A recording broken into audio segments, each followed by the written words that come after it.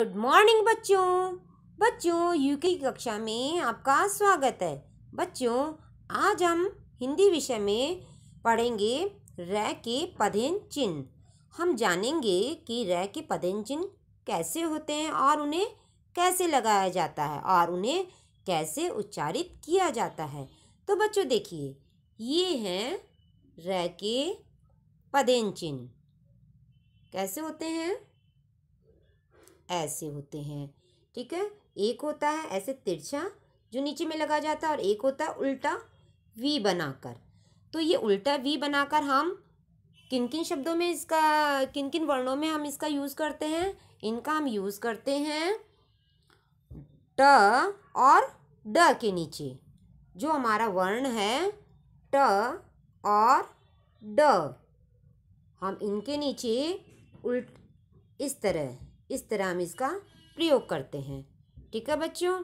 और बाकी वर्ण के नीचे हम एक नीचे तिरछी रेखा, ऐसे तिरछी रेखा लगा करके इस रै के पदन चिन्ह का प्रयोग करते हैं।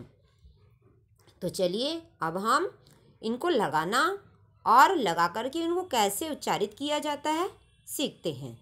तो देखिए बच्चों, ये है क। अब क में रै का पदेन चिन्ह लगेगा तो क्या बनेगा? क्र।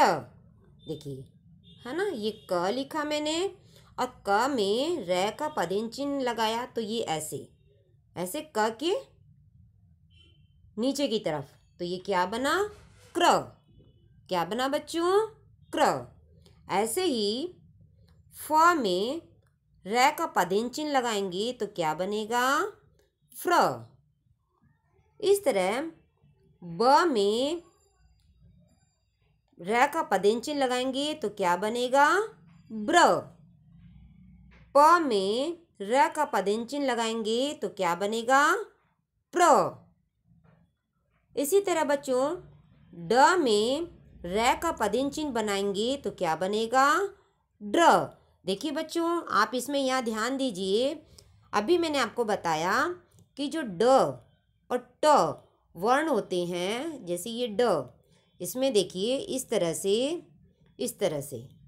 ये ड में ये र का पदेंचिन इस तरह से लगता है, ड के नीचे, ठीक है? और इसके बाद है तो इसे कैसे पढ़ेंगे?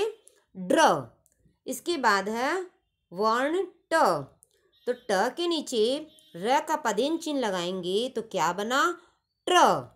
देखिए, इसमें भी ट के नीचे देखिए बच्चों, इस तरह से, इस तरह से ये चिन्ह ऐसे लगाएँगे, ठीक है बच्चों? आगे वर्ण है ग ग में रै का पदेन चिन्ह लगा तो क्या बना? ग्र, क्या बना बच्चों? ग्र।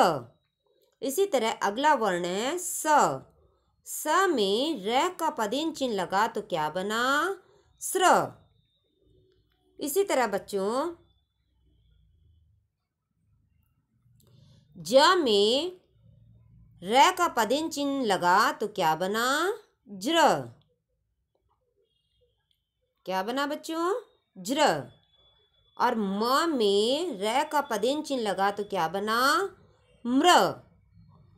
इसी तरह अगला वर्ण है भ। भ में र का पदेन चिन्ह लगा तो क्या बना? भ्र।